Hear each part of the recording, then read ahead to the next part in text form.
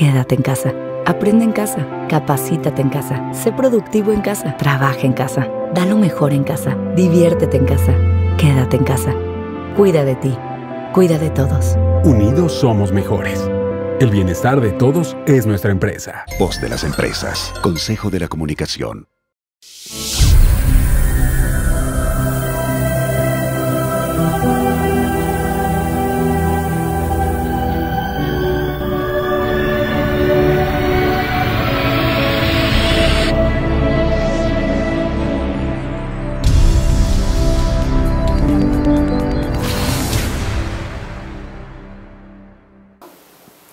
Hola, ¿qué tal?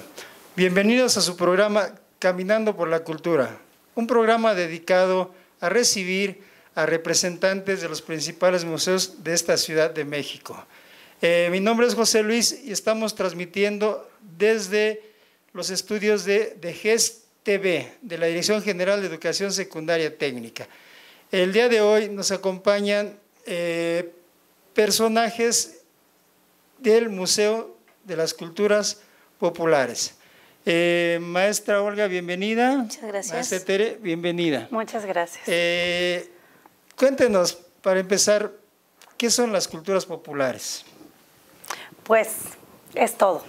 La cultura popular en nuestro país pues es básicamente eh, la gastronomía, las vestimentas, las danzas, todo aquello que se da en un sector, en una comunidad, como la tradición oral, el lenguaje, todo eso es parte de nuestra cultura popular.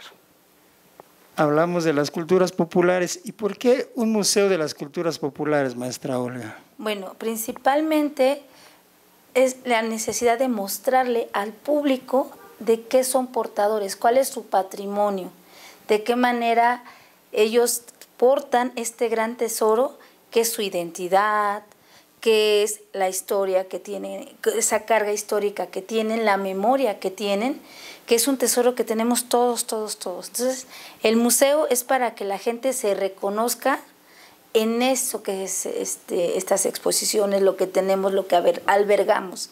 Por eso la necesidad de un museo de culturas populares. Es un museo vivo, un museo de la gente y para la gente. El Museo de las Culturas Populares, eh, eh, he tenido la fortuna de visitarlo, se encuentra exactamente en el centro de Coyoacán. Eh, ¿Cuál es la historia de, de, este museo, maestra Tere? Uy, bueno, el museo tiene una historia pues súper, súper eh, amplia. Tiene ya 35 años eh, de servicio, abre sus puertas por primera vez el 24 de septiembre de 1982, gracias al antropólogo Guillermo Bonfil Batalla. Él tenía la idea de crear un museo que pudieran presentarse todas aquellas manifestaciones de cultura popular que existe en nuestro país. Justo como lo, mencionaba Olga, para mostrar esa riqueza cultural de la que somos eh, poseedores, pero muchas veces no reconocemos. ¿no? Entonces, la historia de este museo surge a través de, del maestro Bonfil Batalla y a través de todos nosotros que somos sus, sus portavoces día a día. Un museo donde nos podemos identificar con con nuestras culturas, con nuestras comidas, con este la música, con nuestra música. Eh, está en un espacio que, según tengo entendido, tiene más de 100 años de haber sido construido. ¿Qué nos puede contar de la historia de, de donde se encuentra este museo? Porque es sumamente interesante que nuestro público conozca también eh, cómo la fortaleza de una edificación puede durar tanto, ¿no? Claro, el museo eh, más o menos data de, de, del siglo XIX, del siglo XX, por ahí del porfiriato, eh, y tiene una, pues digamos, una inclinación europea. Eh, sus edificaciones, la, más antigua, que es la primera parte de, de la, la casa del museo, la primera estructura, tiene un torreón, una cúpula que esa cúpula perteneció a la orden de las Carmelitas Descalzas. Era este, una orden que estuvo ahí porque el museo a, lo largo de los años ha albergado pues, muchas, muchas personas en este, en este espacio.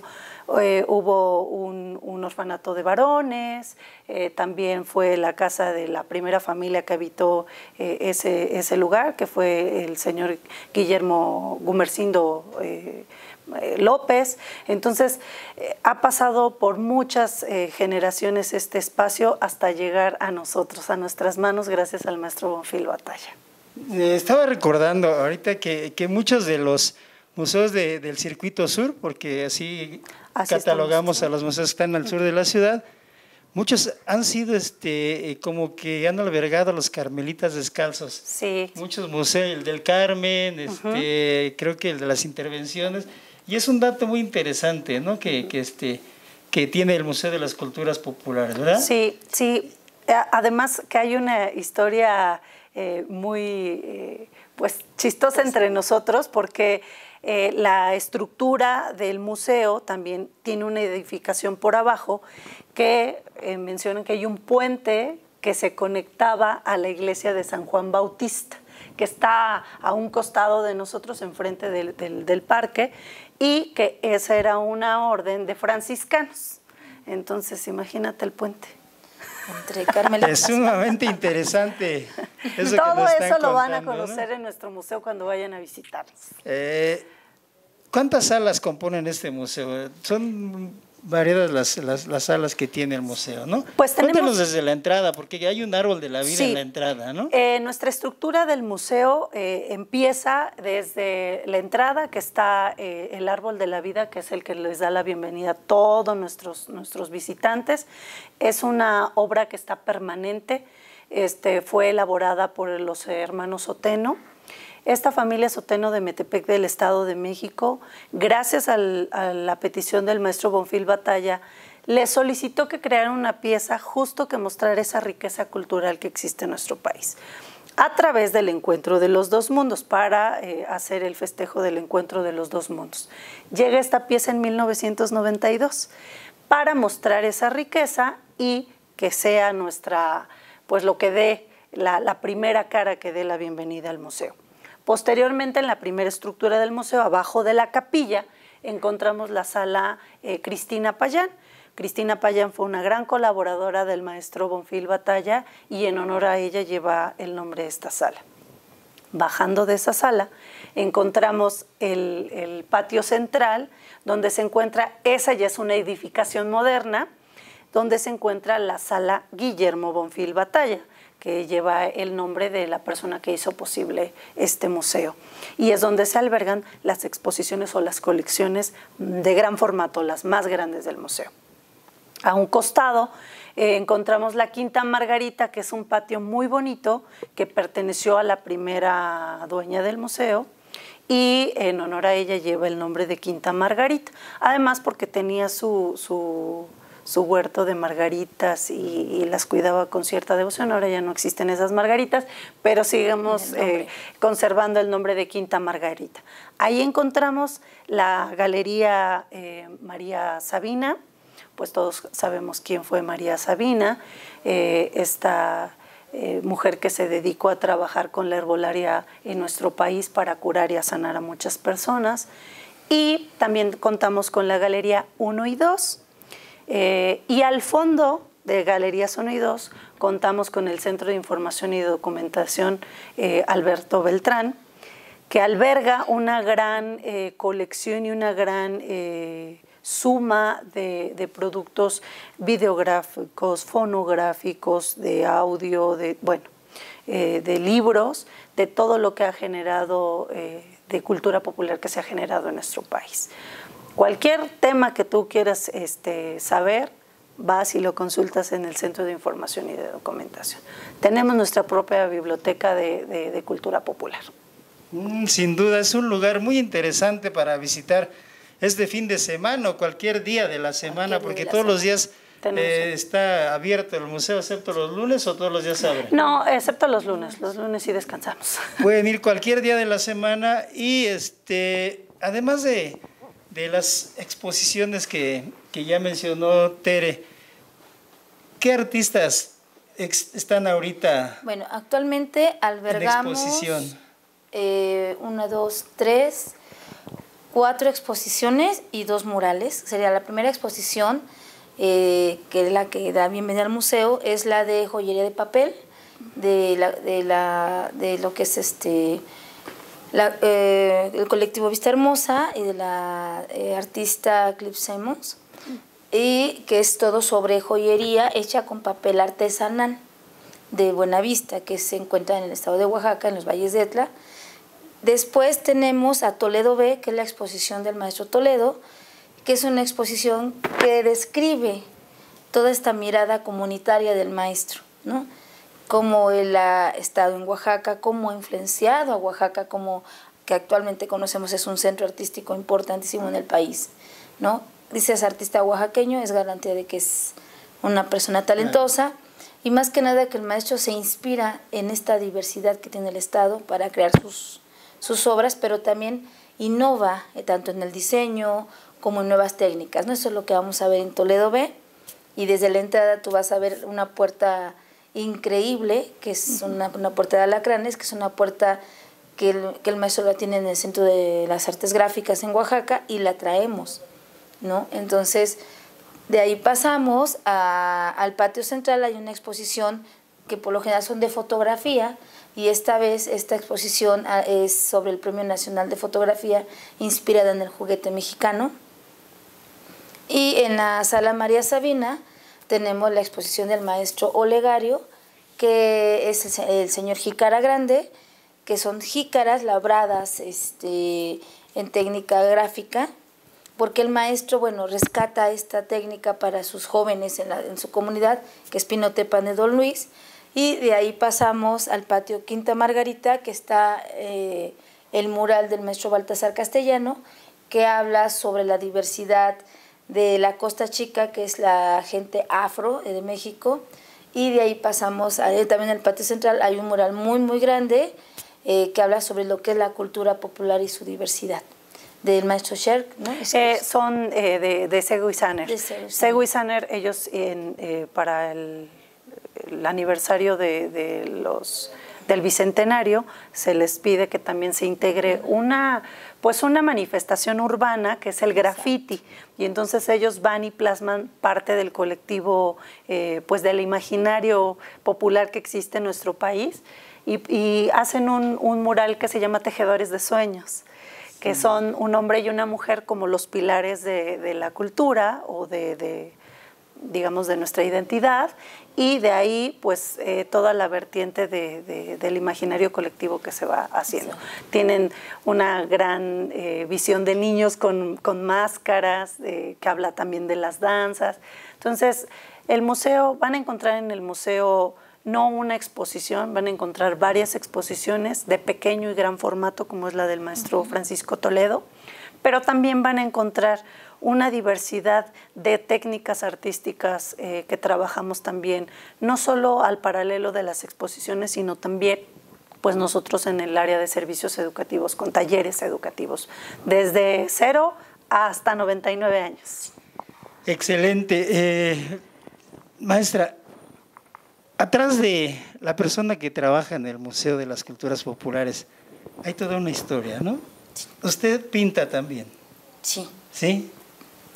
Cuéntenos un poquito de su trayectoria como artista plástico.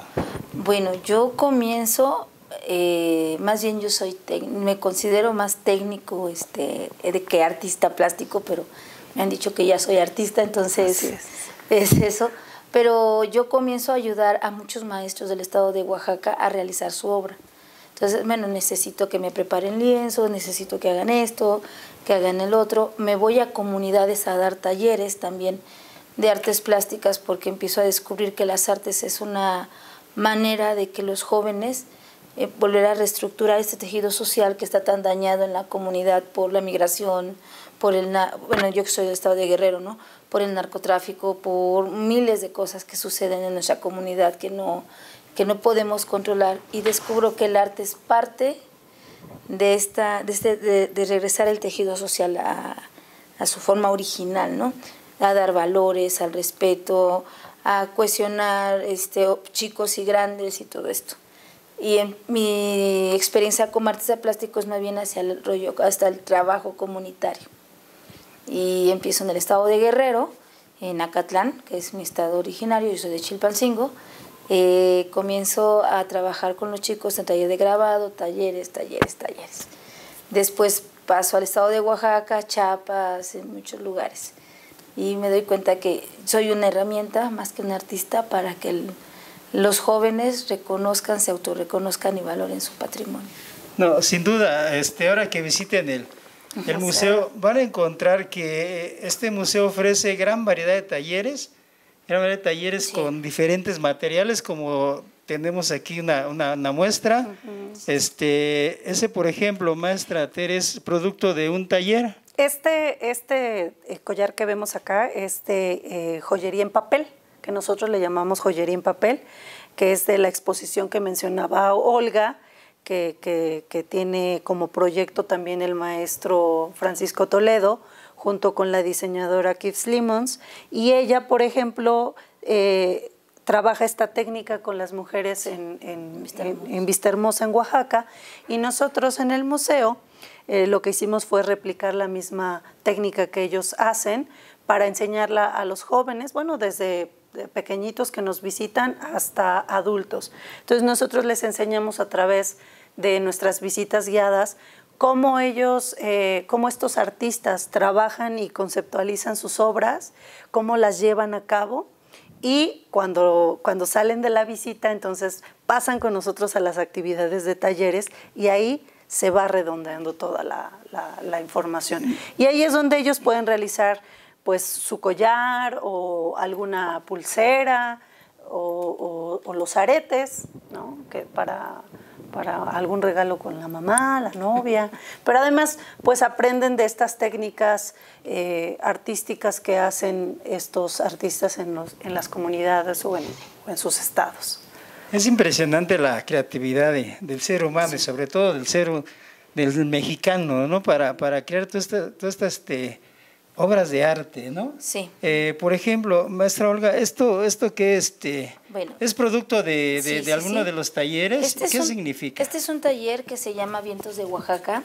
El maestro Toledo, con la intención de que nosotros pudiéramos adquirir una pieza a precio accesible, tiene una colección de papalotes que están expuestas en, su, en la sala este, Buenfil. Y el papalote es una tradición. Exactamente. Y él es muy fan de los papalotes, el maestro. Anda volando papalotes siempre en Oaxaca, casi todo. Siempre que hay un evento, ¿no? Entonces nosotros replicamos el, papalote eh, sobre, bueno, no es papel original, pero sí es un papel cartoncillo reciclado. Y usamos la técnica de estampación, que es una técnica que utiliza mucho el maestro Toledo. Entonces le enseñamos desde la formación de la pieza hasta la técnica con la que se genera la pieza. Y al final tú te estás llevando una pieza hecha por ti mismo, porque muchas veces es muy sencilla, pero lo que llega a ser la gente es increíble, porque dicen, yo nunca había trabajado y, y me salió muy bien, ¿no? Que eso también es muy padre, ¿no? Ayudas a descubrir esa creatividad que tenemos escondida. Y entonces entienden cómo, cómo se hace lo que están viendo. Y nosotros nos volvemos un laboratorio artístico. Y eso es lo más importante. Somos un museo laboratorio, somos un espacio de, creatividad, de conversar, de compartir. Y estamos volviendo a generar esos lazos entre, como decíamos, ¿no? de 0 a 99 años, entre jóvenes y, bueno, así adultos. mayores que se empiezan a, a hacer en nuestros talleres. Quiere decir que todos aquellos que visitan el Museo de las Culturas Populares eh, se integran al, mismo museo y hacen actividades para salir con alguna creación por ellos mismos. Sí, así es. Eh, sobre todo con material que a veces creemos que, ya no que no vamos a utilizar, ya no vamos a utilizar. exactamente. Eh, el ingenio del mexicano, la creatividad que tiene, pues nos lleva a que, por ejemplo, eh, hagan este tipo de, obras. ¿Qué puede decir de esto, maestra? Por ejemplo, esta es una técnica que trabajamos que es la técnica de popotillo. Estos, estos palitos que vemos acá es, popotillo y eh, pues nosotros les enseñamos a utilizarlo básicamente, a explicarles de dónde se, se, obtiene el popotillo, cómo lo pueden entintar, cómo pueden trabajar con él. Es de mucha paciencia, porque muchos, eh, sobre todo los adultos mayores, les encantan estas actividades. Los niños a veces están desquiciados, pero cuando salen con una pieza dicen, wow, es que yo no pensé que lo fuera a lograr. Muchas de nuestras piezas, em, pues a la hora de que cuando la gente visita las exposiciones, las observa y ve el proceso, como, porque nosotros lo vamos platicando, desde cómo lo concibe el artista hasta cómo lo, ya lo plasma o lo lleva a cabo. Pero cuando llegan ya a la actividad de taller y empiezan a desarrollarlo ellos, entienden cómo, cómo pasa ese proceso de creación el, el propio artista y se vuelven artistas. ¿no?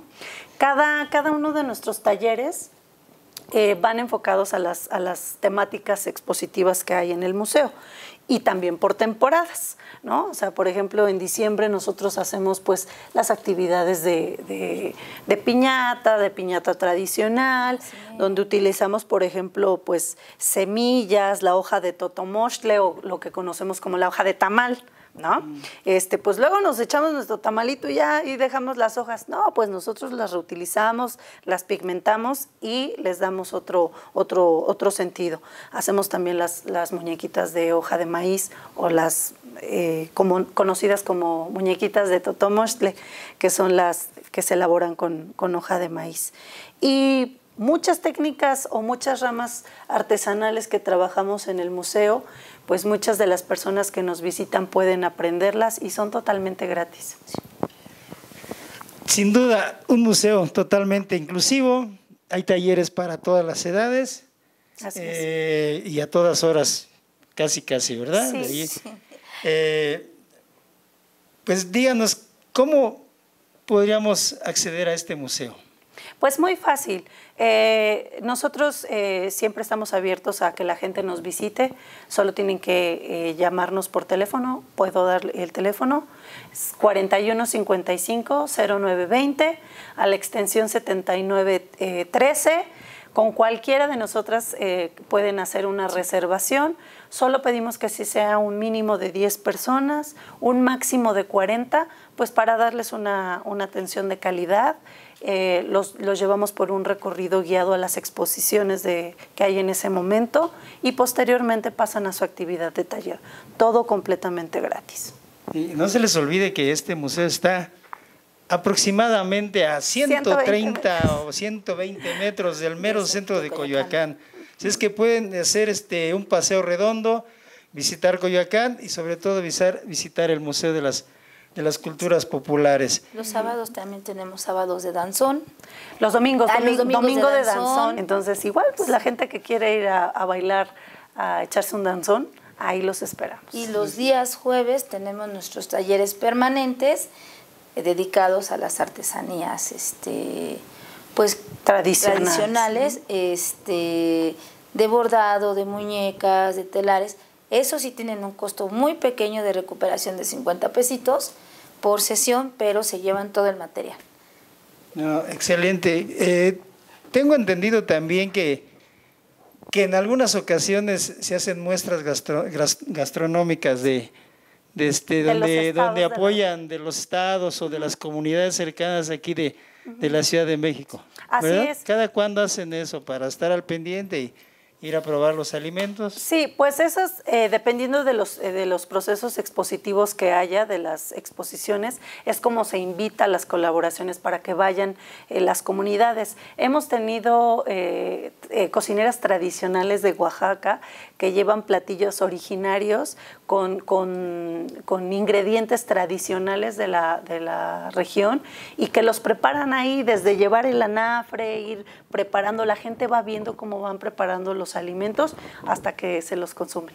¿no? Entonces, eso eh, normalmente son periodos de tres, cuatro meses y, y por lo regular están un periodo de un fin de semana viernes, sábado y domingo, que están los propios expositores o los propios creadores, presentan sus muestras eh, gastronómicas, sus platillos o también sus artesanías y ellos mismos ahí las venden directamente. Estoy seguro que los que nos están viendo ya están preparando su itinerario para, para este fin de semana visitar el Museo de las Culturas Populares. Eh, el tiempo se nos está terminando. ¿Algo más que quieran decir a nuestro público antes de retirarnos? Pues Digo, sin antes agradecerles que hayan venido a compartir con nosotros esta, esta maravillosa este información de este, de, este, de este espacio. Pues sí, invitar a, todos sus seguidores a que visiten los museos. De verdad, cuando uno descubre eh, esas puertas que, que, tienen los museos, se enamora de las actividades que hay en los museos y este sin duda. Entonces, que es parte de nuestras tradiciones, parte de nuestra vida cotidiana, la cultura popular la vivimos día a día. Entonces los invitamos a todos, a los profesores, a los alumnos, a que visiten cada una de nuestras actividades, porque también son actividades que están enfocadas también a la currícula escolar. Entonces muchos de los que nos visitan eh, se identifican con las exposiciones que hay en nuestro museo. Pues bueno. no nos podemos ir sin dar las gracias al licenciado Ernesto Gutiérrez Garcés, director general de Educación Secundaria Técnica, por las facilidades eh, prestadas para la realización de este programa. Hasta la próxima. Adiós.